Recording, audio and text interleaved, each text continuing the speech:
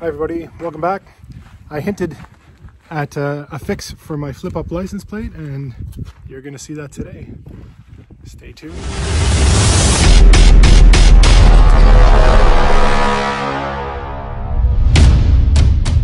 So today we're gonna be changing out my plate holder from the lift style that bent on me to stow and show. So it hooks on over the fairlead and then you can simply take it off as needed. So the way this one works is it goes over the fairlead, the plate holds on the front, and then when you want to take your plate off to use your wrench, you pull pin and off comes your license plate. So you can see on my folding bracket where everything got bent from the car wash, so it's all rusting. Anyways, it's gonna be trash when I'm done with it. So now I'm just gonna take off my plate. So we got the plate off the old one. Now it's time to mount with bolts and uh, lock nuts. So. The nuts it comes with are famous forever missing 10 millimeter. So now that it's all mounted up, it's time to take off the fairlead. So I'll just have to take off the two big bolts for the fairlead. So before I do anything more, I'm going to take off the clutch for the winch. Give myself some slack.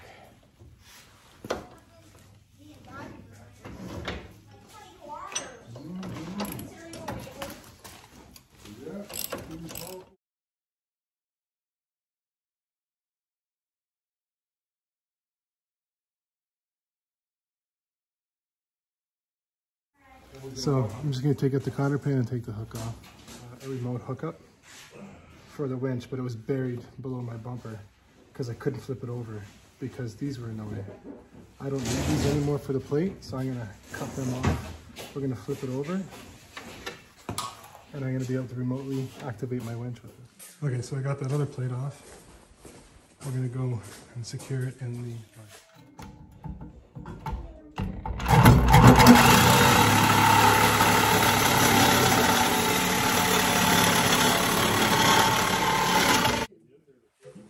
There you go.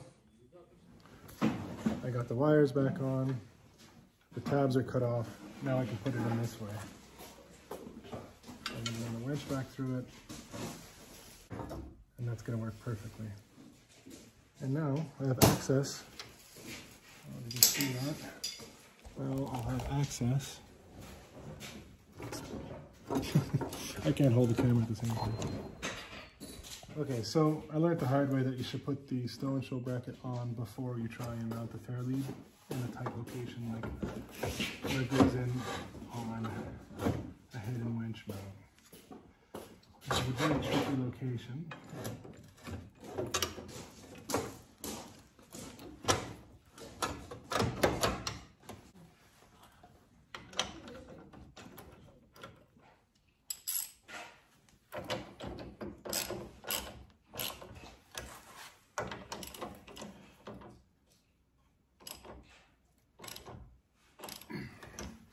All right, so that's installed.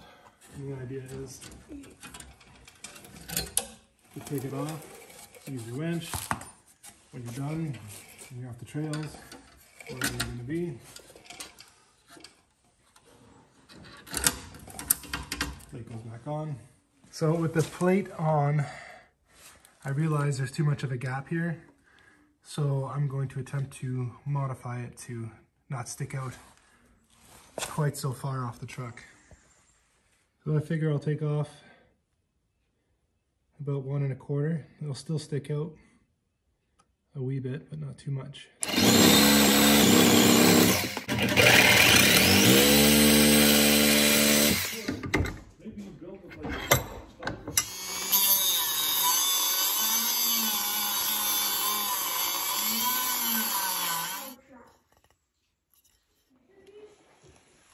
Okay, so here's my modification. I'm gonna give it a try and see how it fits. Perfect.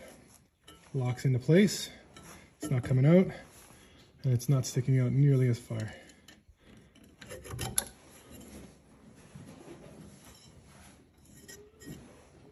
Okay, I really want my license plate cover to fit on, but uh, know if you can see that, but these things are really thick, so the bolts are fitting. So I'm going to just dremel them down real quick.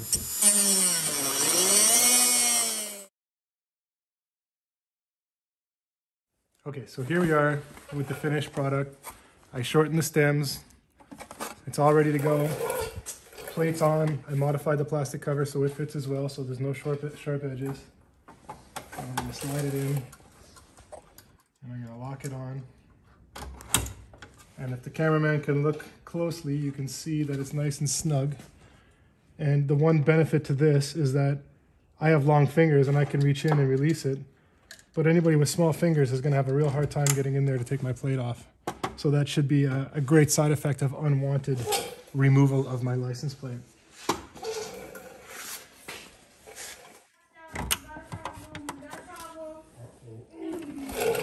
There we go. It's in the factory location. Winch is hidden. Okay, so we wrapped up the Stow and Show license plate install. That's what it looks like outside in the wild. I'm loving it. I think it looks great. It looks factory.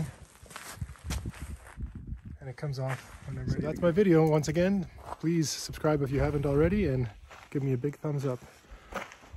Thanks for watching.